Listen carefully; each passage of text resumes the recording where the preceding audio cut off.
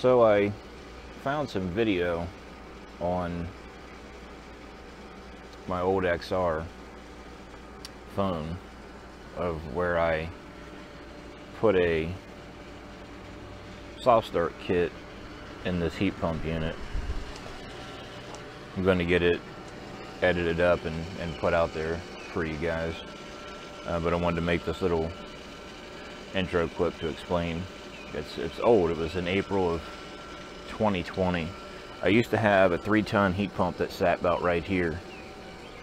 And the older deck was about seven inches taller. The heat pump was also bigger being a three ton. So it was about right here. And I had to have it bonded to the pool bonding because it was so close to it. And when we went to get the new deck in, we wanted the new deck lowered.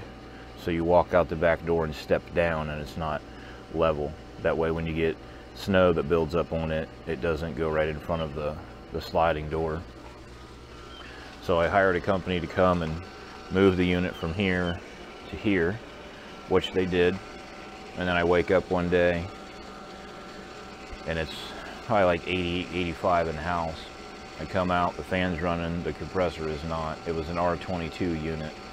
He told me it would be like four or five grand just to replace the compressor and if anything ever happened in the future I'd probably be screwed because R22 is going away before long where places won't even be able to get it anymore.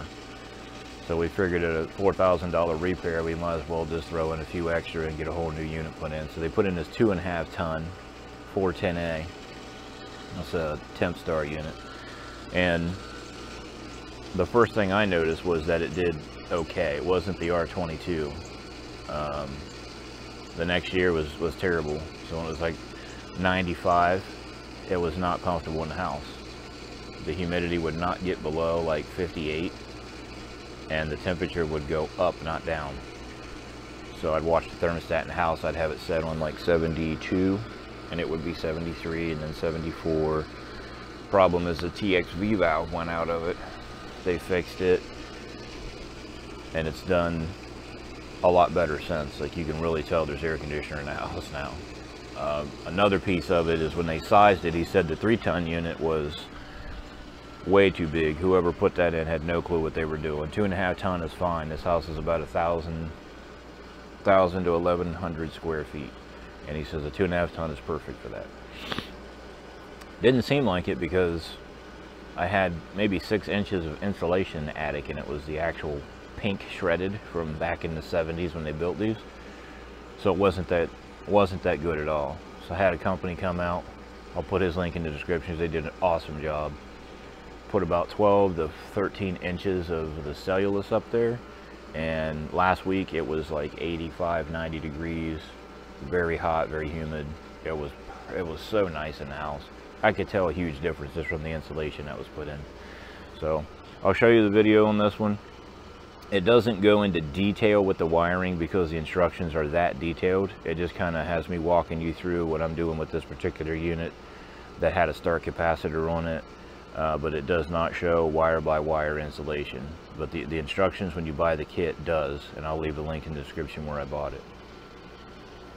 Okay folks, today I'm going to be installing a soft start kit in my heat pump. And there's multiple reasons why one would want a soft start kit. My reason is that I have a generator and when it kicks on, it really bogs the generator down a little bit. Too much for comfort, so much that the lights in the house will flick or flash.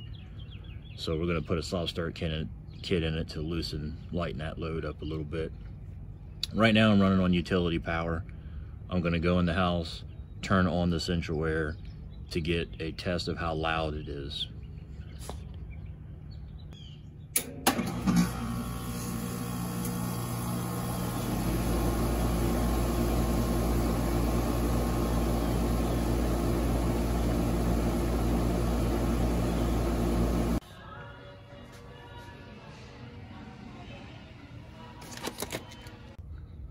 So now we're gonna remove the plate and then we're gonna test what the amps are when it kicks on.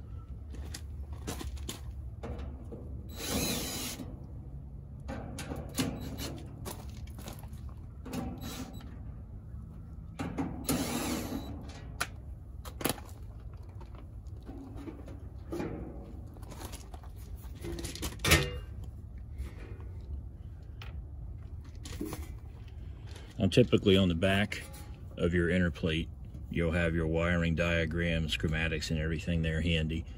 I'd take a picture of this like the day after they put it in because over time this will start to fade off and you're not going to be able to see it. So inside the unit, you've got your dual capacitor, start capacitor. This is all live. I haven't disconnected anything yet. This is going to be the L side of the contactor. This is the contactor. So this is my main wires coming in.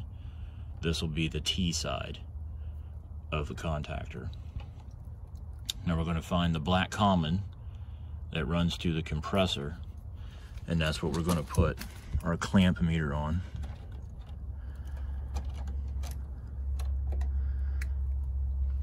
Looks like it is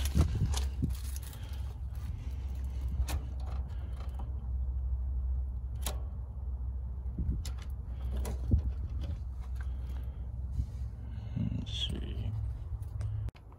So we got us a reading of 68 amps, which isn't too bad. So now I'm going to run the house on the generator and turn it on and let you guys hear what the generator does when it kicks on.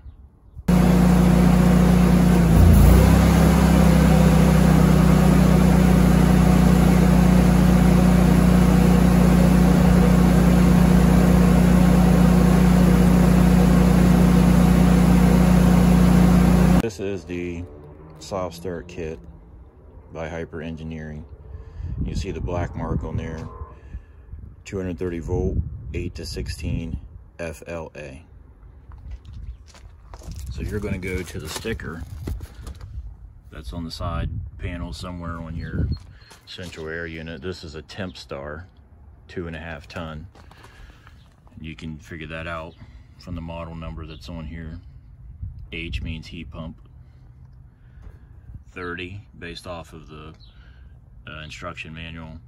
30 means two and a half ton. You're going to be looking for this RLA number, 13.5.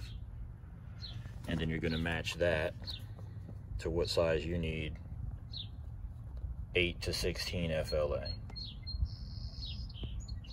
So the FLA, your FLA is your full load amps. And your RLA is your rated load amps. So this is the box it comes in.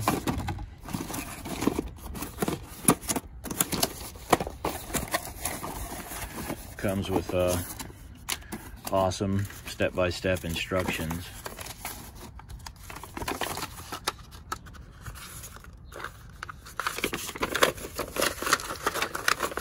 Collared instructions to include pictures. You got your unit, some additional wires.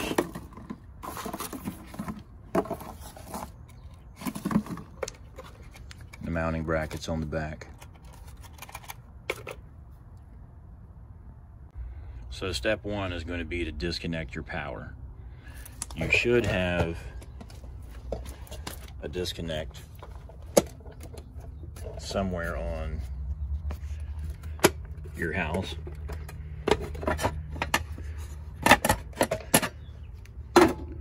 Pull this out. It's got two fuses in there. Now there is no power running to your unit, but you need to test that just to be sure. These capacitors, obviously the name capacitor means that this stores power and this stores power. That's the whole point in starting the compressor. They build charge, they hold charge, and then when it kicks on, that's the massive drain that you're seeing that starts the compressor. So these will hold power. So even though your power is disconnected, make sure you have an insulated screwdriver.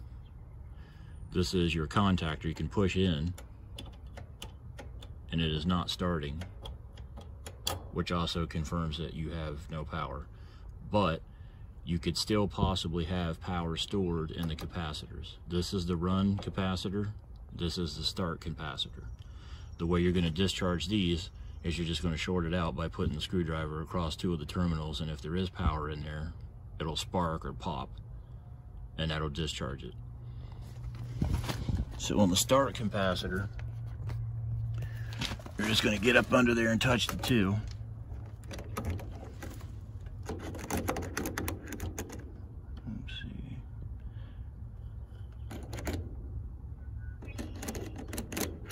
Nothing sparking. That should be done. And then you're going to go from common to Herm.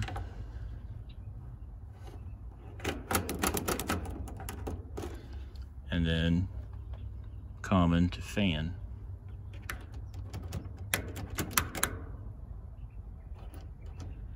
So this is your common, this is your Herm, and this is your fan. Fan,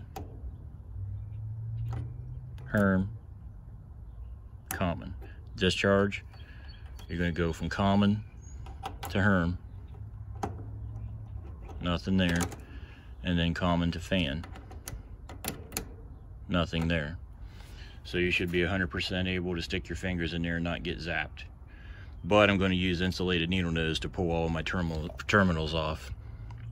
A couple reasons. One, if you can't get your hand on it, you take a chance of pulling the wire off the terminal, or if you put the pliers on the metal piece of the terminal and pull them off, you're not going to pull the wire out of the terminal. All your, your power removed, your start capacitor needs to come off. You cannot have a start capacitor and a soft start. The soft start has a start capacitor built into it. So you need to remove the start capacitor. Okay, so when you're looking for a place to mount this, this is a, it's like a piece of resin or plastic. You want to make sure that when you put your mounting screws in, you're not drilling into a coil and leak out all your refrigerant, that you're not drilling into an electrical motherboard or something in there. So you want to check behind, make sure that the screws aren't going to go in there and damage anything behind it. These are the same two self-tapping screws that I took off of the start capacitor. I'm just going to reuse them. I may even be able to reuse the same exact holes so that I know I'm not going to drill through anything same existing holes that was in there. Clicks right in there. So there's three wires that come off your compressor itself. If you look down in your unit, I have a black, a yellow, and a blue. The yellow is going to be my run, the black is going to be my common, and the blue is going to be my Herm. You can verify that by running tracing your wires. Here's your yellow. This is your run. This is your common. This is going to the Herm. So if you take your common off your capacitor and trace it back, it goes to the run on this unit.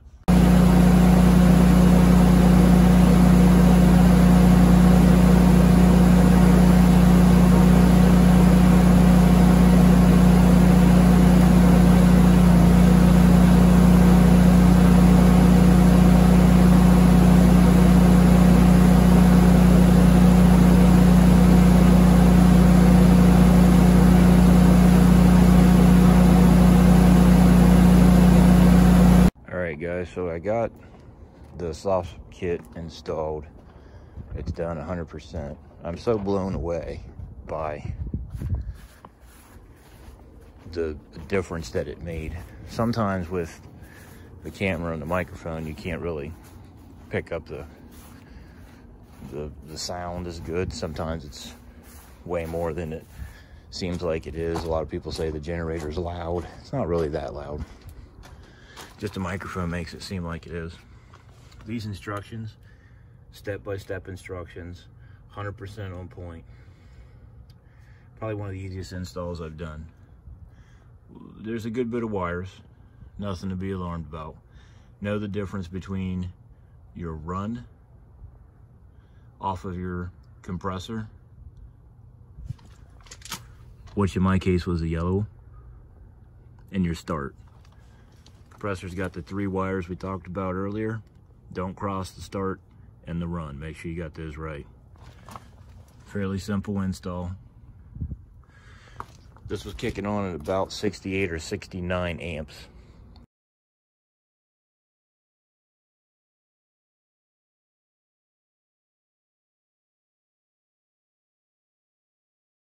Which knocked the generator down a little bit, enough to make the lights flick. And you can hear the, you know, like it misses and you can hear it spin back up, the generator. That's completely gone. You cannot even tell when this heat pump kicks on at this point. So makes me feel a lot better. I do have battery backups in the house on the TV. And if there's any drop in voltage, anything, it makes those kick on. And they were actually kicking on, thinking that it needed to because the amount of power that it would pull from the rest of the house would make them go into safe mode and kick on. They don't even, they don't do that now. And those battery backups are set for specs for a computer, which is the highest that you can set them, and they don't kick on at this point.